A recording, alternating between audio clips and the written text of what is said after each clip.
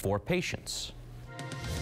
Now, here's meteorologist Michelle Muscatello with your live Pinpoint Doppler 12 Futurecast.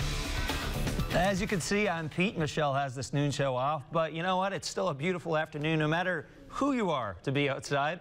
Let's check on some conditions right now from Newport, where we have seen some sunshine poke